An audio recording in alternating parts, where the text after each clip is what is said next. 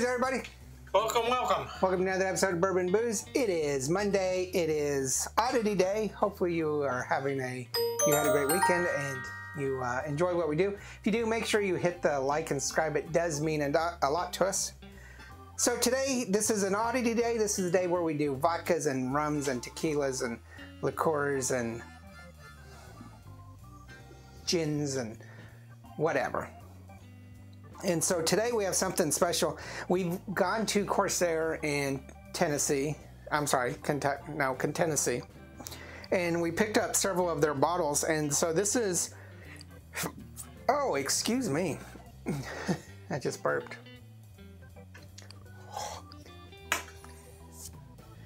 This is one bottle that, um, our, our second to last, we have one more to go. But this is the Corsair Red um, Absentia. Absent. Red Absent. Uh, so I gave Cody a little bit before and he was looking at it like, what the hell is this? Because he's not a big absinthe fan. So they distill this. Um, it's from the Corsair Company in, um, I believe it's Memphis, if I'm correct. Maybe I'm not. Pretty sure I am. You know what? I always say that, and then all I have to do is look on this bottle, and it'll tell me. You were reading? I don't think you were reading. Do. You do not. Uh, Nashville. So this is Corsairs in Nashville. Excuse me, I was looking at the pictures. Oh, okay. Uh, the proof is 56% or 112 proof. So I don't know what absinthe normally comes in. It's kind of proofy. Yeah, it seems proofy. Right. We have three or four different absinthes here, and they're usually right here, and I don't see them, but I don't know what absinthe normally comes in. But 112%, no age statement, and the cost is $55.99. I believe you can get this possibly nationally. Um, you don't have to be in Tennessee. Well, and it says it has the dragon wormwood in there, Mm-hmm. and the wormwood is what was supposed to make it crazy. Yeah, but I think a lot of that was a um, urban myth. Or maybe they had like lead in it or something. I don't know. I think um, a lot of I like absinthe. I don't know. Do you? Yeah, because it's got that um, anise and Mm-hmm. the licorice flavor. Anise. So uh, it doesn't say how much it's aged for, but this is uh, batch 98, bottle 146 out of 156. And I really don't think if you did the whole thing over the ice, drip it over the ice, it would turn green or whatever with this one. Um, well, it's a red absinthe because it's got hibiscus in it, I believe. Um, so pot distilled with herbs and spices and infused with red hibiscus flowers. And I like it.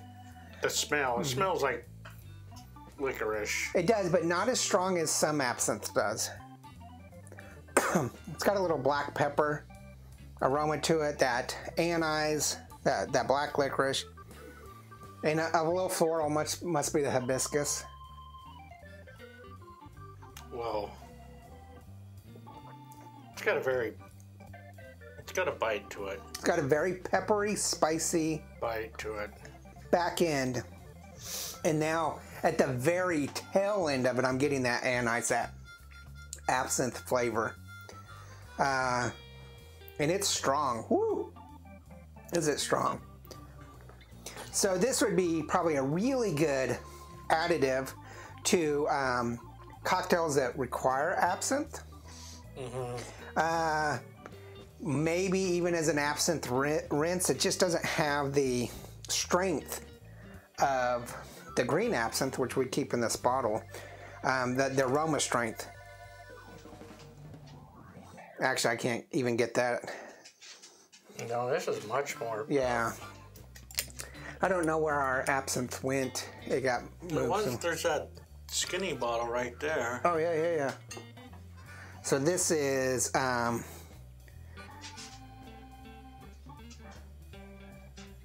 seventy percent.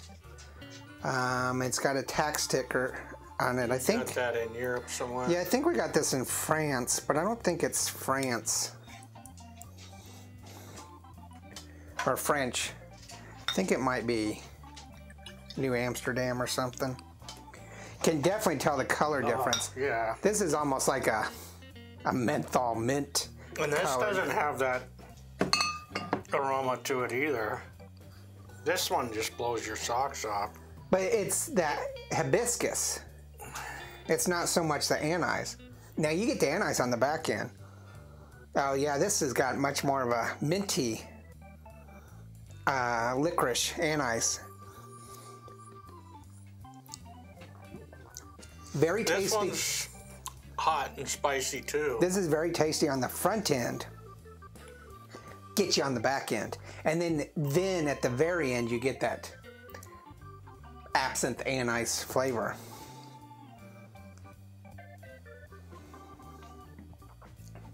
Ooh. Much more. Wow. This is much more powerful. This is much more palpable, smoother. yeah. I like the Corsair quite a bit. I like absinthe. Um, I got that little bottle, I got the sprayer, and I got three or four different variations.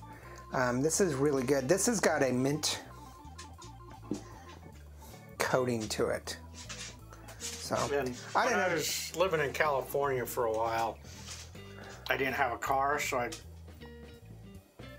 like hitchhike or take the bus to work. And where I worked, there was no transportation, so I had to work from the bus or walk from the bus stop. And you had to walk through the fields of anise Oh, okay. and so you're just walking here, just smelling that licorice. I was wondering where that was coming from. I don't know. Tell us what you think about Corsair's Red, the hibiscus uh, infused anise um, or absinthe. Uh, it's definitely unique because all the absinthe I've had before has been the green absinthe, Yeah. and we got multiple bottles of that. I do think I have one more absinthe bottle that we haven't done that's um, a smaller bottle somewhere um, out there, but we'll see. And I think I'd definitely like to try it with the little contraption with the ice and the little dripper going. Okay. We have the little sugar infused contraption thing, but I don't know. Oh, tell us- maybe it's the sugar. Yeah, it's a little ice. metal thing that you put the sugar on, and you No, you put the sugar cube in there and Mm-hmm. you drip it down. yeah. I don't know. Tell us what you think about Corsair. I think we have one more um, odd Corsair coming up, and then we're done with the Corsair. We're slowly getting through all of that Nashville pickup. We got some, uh, what, a hundred plus bottles on that trip, and just picking up the tail ends of them. So hopefully we're nearing the end. But tell us what you think about um, this Corsair. Would you like absinthe? What's your favorite? What's your favorite cocktail as well with absinthe? And of course, um, we use the infuser, the sprayer for Sazeracs because good Sazerac has good absinthe, and that might be just the thing to add some uh, uh, flower florals like that hibiscus flavor to it. So tell us what you think.